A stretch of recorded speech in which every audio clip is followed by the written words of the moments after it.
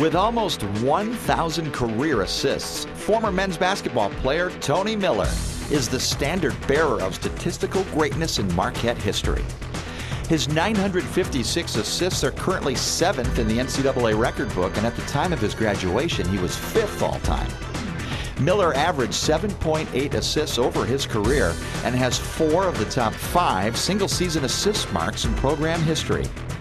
During his freshman year, he set the single season record with 221 assists and went on to top that as a junior with 274. He currently holds the top marks on the freshman, junior, and senior single season ledgers.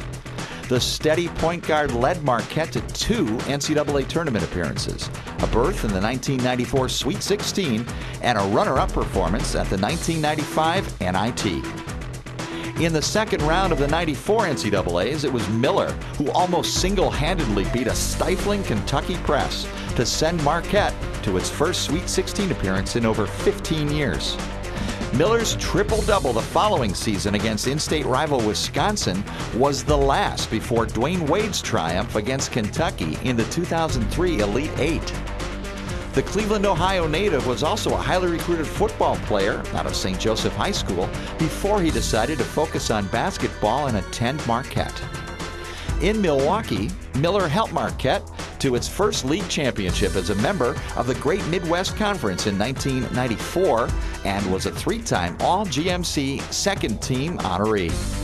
In addition, he was named to the conference's all newcomer team in 1992 and picked up all freshman fifth team honors from Basketball Weekly.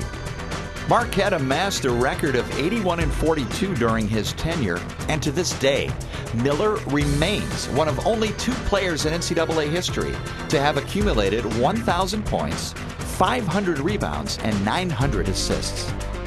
The Marquette M Club Hall of Fame is proud to induct Tony Miller one of the greatest setup men in the history of NCAA men's basketball.